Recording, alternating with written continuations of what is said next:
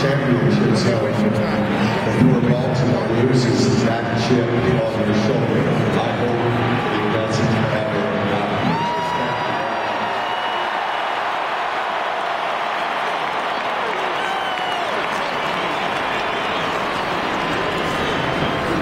From this point forward, we can